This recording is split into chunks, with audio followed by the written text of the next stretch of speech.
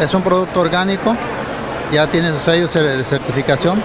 Eh, nosotros somos productores y lo estamos ya, ya comercializando. Tenemos 14 años trabajando. Manejamos este de 230, 230 gramos. Manejamos este de 400, de 400 gramos que, que viene siendo este.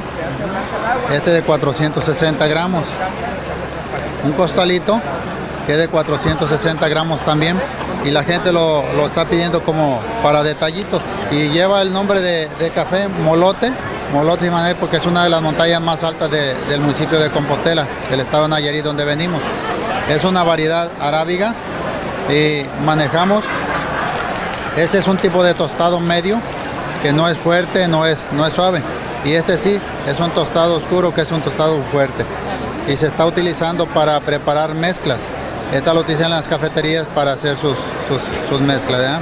Este es el café pergamino. Estamos iniciando también con lo que es el licor de café. licor de café.